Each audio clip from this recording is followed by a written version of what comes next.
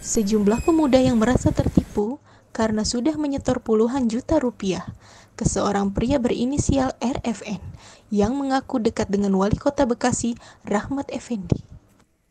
Mereka akhirnya melaporkan kasus dugaan penipuan tersebut karena setelah menunggu lebih dari tiga tahun, namun pekerjaan sebagai tenaga kerja kontrak tak pernah ada kabar yang jelas dari RFN tersebut. Ceritanya saya dijanjikan buat masuk TKK pak. Hmm.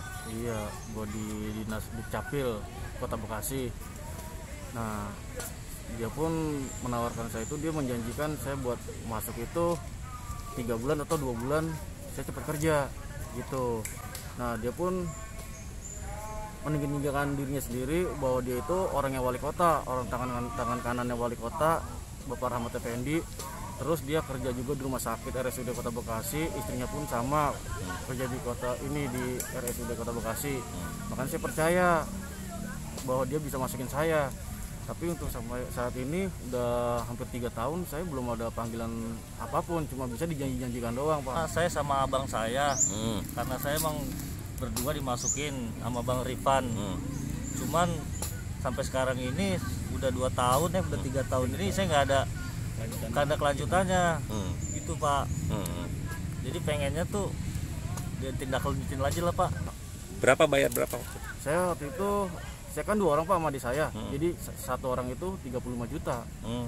Iya, 35 Jadi total 60 70 70 juta. Saya uang itu dari ini apa namanya gading sertifikat rumah saya pak Hmm. sampai orang tua saya meninggal yang perempuan karena kepikiran saya tuh kapan kerjanya Hmm.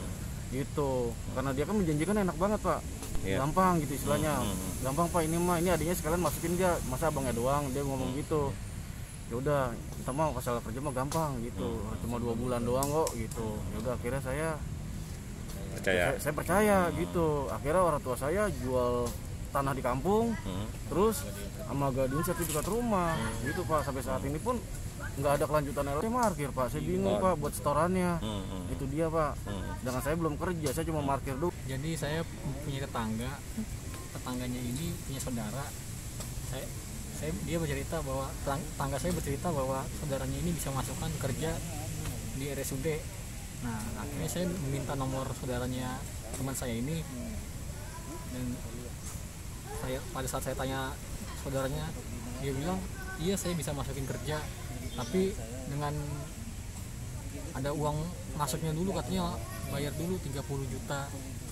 Nah terus saya gitu deh mas nanti saya kabar lagi saya berunding dulu sama keluarga nanya dulu.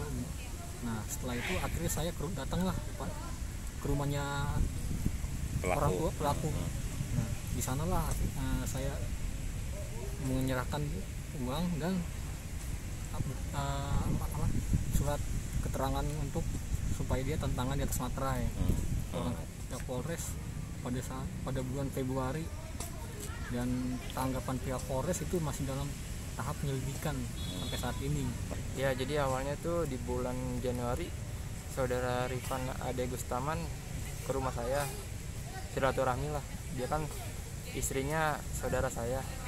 Dia menawarkan pekerjaan sebagai TKK di rumah sakit daerah bulan-bulan.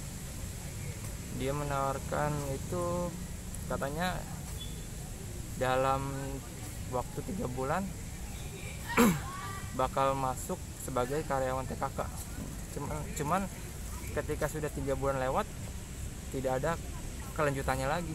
Dan sampai sekarang pun uang saya sudah masuk di dia senilai 30 juta di Januari 2019 2019. Iya. sudah waktu pas di rumah bapaknya saudara Rifan Hmm. dan situ melakukan diskusi Hmm. eh, secara kekeluargaan Hmm. namun tindakan dia itu bukannya mau bukannya apa namanya melakukan kekeluargaan malah hilang-hilangan Iya. Untuk masyarakat Biar- sekarang jangan terpengaruh bahwa menawarkan saya dekat dengan Pak Wali, dekat dengan eh, dengan Pak Wakil, dekat dengan anggota dewan. Udah jangan terpengaruh ya, tidak pengaruh karena sekarang banyak oknum-oknum menawarkan hal itu ya. Bahwa TKK sekarang sudah cukup banyak. Saya yakin tidak ada TTK baru. Oleh, oleh karena itu saya mengimbau kepada masyarakat harus betul-betul eh, tahu betul ada nggak TKK tersebut. Ini pesan saya kepada masyarakat.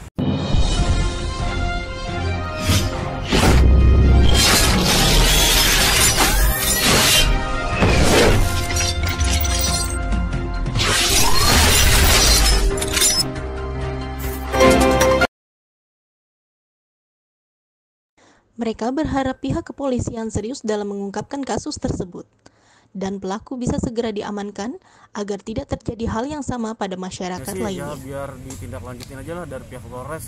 Jangan sampai ada korban-korban berikutnya lagi pak. Kasihan pak korban-korban berikutnya lagi pak. Hmm. Biar cukup saya buat pengalaman saya lah gitu. Iya. Iya kalau pengen sih uang saya kembali pak buat nutupin Hmm.